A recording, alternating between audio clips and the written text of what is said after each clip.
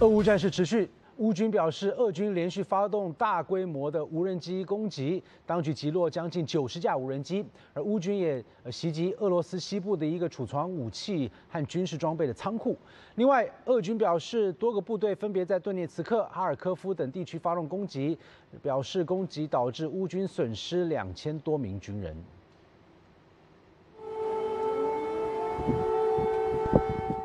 克兰军方三十一号表示，俄军在前一天的晚上开始，直到凌晨时分，向首都基辅发动了多轮无人机袭击，首都地区几乎整夜都处于空袭警报之中。乌军称，这是俄乌冲突超过二十九个月以来，俄军最大规模的无人机攻击之一。乌军合共击落八十九架无人机，其中在基辅及周边地区就击落了超过四十架。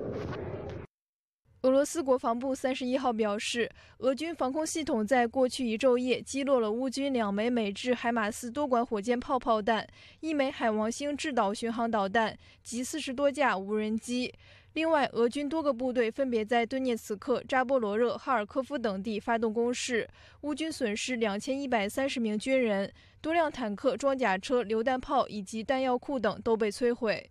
外国媒体三十一号报道，俄军在七月攻占了乌克兰东部近两百平方公里的领土，平均每天攻占约六点六平方公里。虽然较六月有所增加，但与五月在哈尔科夫边境地区发动地面攻势相比，攻占领土大幅减少。